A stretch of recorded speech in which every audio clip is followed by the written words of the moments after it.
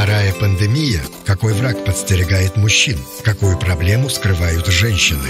Интимные вопросы женского и мужского здоровья. Доктор ответит на все ваши вопросы. 24 февраля в студии главный внештатный специалист регионального министерства здравоохранения по урологии Сергей Пиканов. Программа «Звоните доктору». 24 февраля в 18.15 на телеканале «Самара ГИС».